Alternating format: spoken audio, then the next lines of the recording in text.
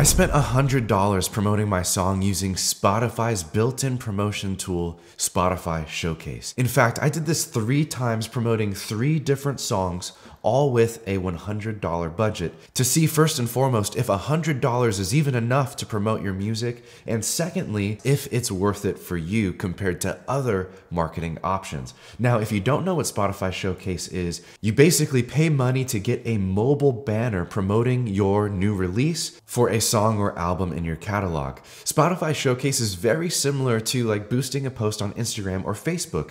You pay the money, a lot of the settings are very much automatic automatic, so it's very quick to promote, but you don't have a lot of control over targeting. It's basically a look-alike audience for those of you who are running meta ads who know what that is. This is a look-alike audience tool that uses your existing streams, your existing listeners, and Spotify creates an audience based off of your existing data. So that's what Showcase is. And in order for us to know if Spotify Showcase is worth it for the money, we need to take a look at what that $300 would even get us if we took that to playlist promotion, for example? Or what would that $300 get us if we used it in meta ads, which is probably the most popular way to promote your music catalog on Spotify? Let's get those numbers as a reference. If we took the same $300 and, for example, we went to my website and signed up for one of our custom Spotify promotion packages, and by the way, this is our most popular service. If you didn't realize that, we actually help artists get into playlists. You might want to check this out. I'll leave a link in the description description below. But if you took that same $300 and you grabbed a playlist promotion package, you can get a guaranteed 10,000 streams on your song. So let's keep that number in mind as we compare. $300 can get you most likely more than 10,000 streams on your song using playlisting. I'll compare this to Spotify Showcase in a second, but let's first talk about that other marketing tactic, another very popular one using meta ads for Spotify growth. Here, in fact, is my own Spotify growth meta ads conversion campaign. And if you don't know what that is, I actually just uploaded another video covering this, and I have an entire course that teaches you every step and every setting that you need to follow to set this up the right way. So I'll also link that in the description below. But as you can see for my own music, over the last 30 days, I spent $295 in meta ads, which is almost exactly 300 bucks. So the stats that I have up on the screen right now are a perfect comparison budget per budget. And what these meta ads were able to get me is reaching over 100,000 people. Now, that's just reaching them on social media through my video post that's promoting my music. But out of those 100,000 people, 1,100 of them actually clicked over to Spotify. Now, those are just clicks. How many streams did those clicks generate? Well, if I head over to my Spotify for artists and I select a similar date range, 28 days is close enough, and I choose streams and filter the source of streams to my artist profile and catalog, this will zero in on the exact place that my meta ad listeners are going to be streaming my music on my Spotify profile. And you can look at the very bottom right here and see that in the last 28 days, I got nearly 1,200 streams in just this artist profile and catalog category, which is getting traffic from this meta ad. So as you can see, there's a good correlation there. 1,100 people are providing about 1,200 streams, and that's for the same $300. You can see that playlist promotion gives you a lot more streams, but meta ads while it's fewer streams will give you a lot more engaged person. So now let's take a look at these showcase campaigns. And as you can see, I ran these campaigns a few months ago. So now all the data is in starting August 15th. If I change the date range to include when those showcase campaigns were live, you're gonna be able to see clear as day the spike that it created in my analytics. And here it is. There is that spike from the Spotify showcase campaigns. I started all of these on the same date and they all finished very quickly in a short amount of time, around three days. And just clicking through all these categories really quick, the listeners, the streams correlated, the saves correlated to this date range. The playlist adds didn't really correlate that much. You can see this bump here in playlist adds, but I have a similar size bump over here as well. And followers especially did not correlate. Just as a quick aside, I don't think these showcase campaigns really translate into followers very well at all, especially compared to meta ads. But already some conclusions I'm drawing is that Spotify Showcase is really great at getting your music heard with a fast turnaround, and it's also good at getting saves on your songs. But is it worth the price? Let's look at the exact data now inside of each campaign. How does it compare with the 10,000 streams I would get with playlist promotion and how that would compare with the 12,000 streams and followers and song saves that I would have gotten with meta ads. Let's dive in song by song, campaign by campaign. First, for my song Home, $100 gave me a reach of 15,000 people. 500 of those people clicked, and it only converted 249 listeners. Those 249 listeners added me to seven playlists and only saved my song 20 times. Now, my honest thoughts on this is I don't think this is very good at all, but the performance did change song over song, and Home was my lowest performer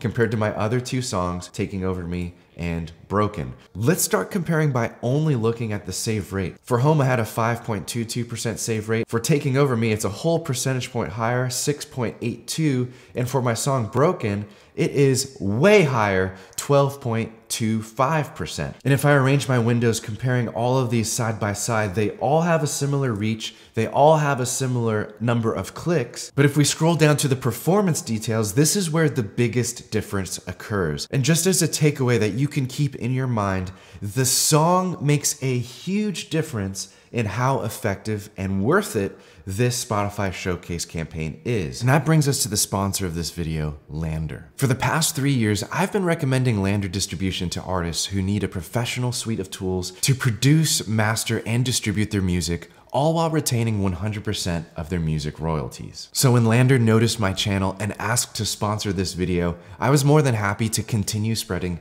the good news about LANDR distribution. They do so much more than just get your music onto streaming services like Spotify and Apple Music, because with LANDR, you get everything you need to produce and release your music, including samples, plugins, unlimited distribution, and the world's best AI mastering engine. Plus, meet with your team anywhere in the world with real-time music collaboration software and tap the talents of a community of pros to take your music to the next level. All of this is included inside of LANDR Studio. Now, if you already have a music distributor but you're looking to upgrade, LANDR accepts outside ISRC codes, so moving your catalog is a breeze. Plus, they will collect the YouTube Content ID royalties for all of your songs. So if you're thinking it's time to upgrade your distributor, then click the link in the description below to get 20% off your LANDR Studio account. And then you could cancel all those multiple subscriptions and enjoy everything you need to produce and release your music with LANDR Studio. And now, back to the video. If you look at the intent rate, the playlist add rate, and the song save rate, my song Broken outperformed in every category, probably because this song is just better and has catchier production and maybe a better intro. But honestly, if I was to guess which one of my songs would have performed the best, it would be hard to know because my other song, Taking Over Me, I think has a very similar production style and is also an upbeat tempo. So if I was to guess, I would have maybe guessed wrong with a 50 50 shot. That's why using data in your marketing is so important. That's why meta ads is such a great tool because meta ads is all data driven and you're able to make these decisions all the time based off of data. So, what's our conclusion here? Spending $100 per song using Spotify Showcase, $300 total. What did that get us, especially compared to the other promotion styles? Well, in short, this got us the least. The number of listeners was only about